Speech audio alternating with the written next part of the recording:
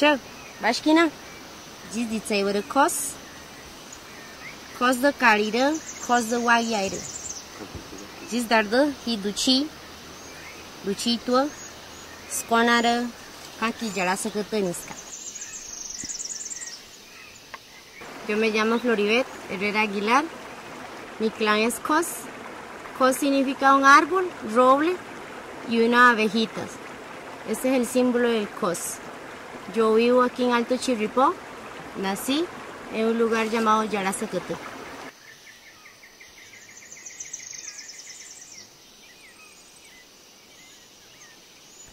Lo que me llamó más la atención es la interculturalidad, el occidente y la cultura mía, porque, digamos, nunca lo, lo vi, en, hasta en una escuela indígena, nunca vi el, el, el desarrollo, la integración de, de, dos culturas. Era solo el español y español, y Cabecar casi no había. Lo que yo, yo sabía Cabecar lo hacía en mi casa.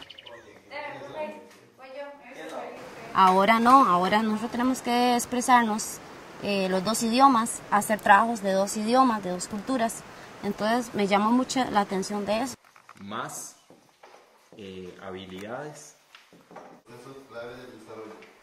¿Por qué se dice que el aprendizaje es se analiza que siendo la sede del Atlántico, ¿verdad? estar ubicada en el cantón de Turrialba y siendo Chirripó uno de los territorios más grandes, nunca se había tenido en 19 años de existencia de la sede un solo alumno cabeca. Y de ahí surge la necesidad de buscar la formación de los docentes de la comunidad de Chirripó y prepararlos profesionalmente en el área de la educación. Y de ahí surge la iniciativa de presentar una propuesta al CONARE, con la intervención de las tres universidades, la UCR, la UNA y la UNED.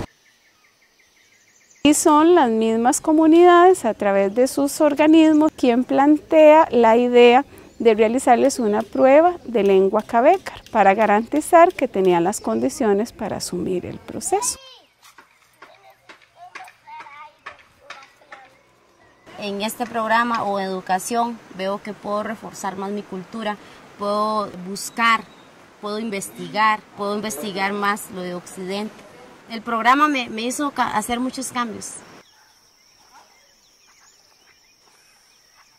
Mi objetivo es, doy clases a los niños de primero a sexto grado. Y si hay 200 niños, a esos 200 tengo que darle clases. Y mi objetivo es que ellos aprendan, valoren, recuperen, rescaten la cultura de ellos. Que se den cuenta dónde vienen, dónde éramos.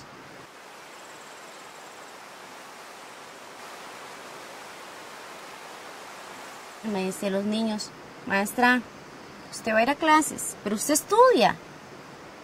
Yo pensé que los maestros nunca estudian.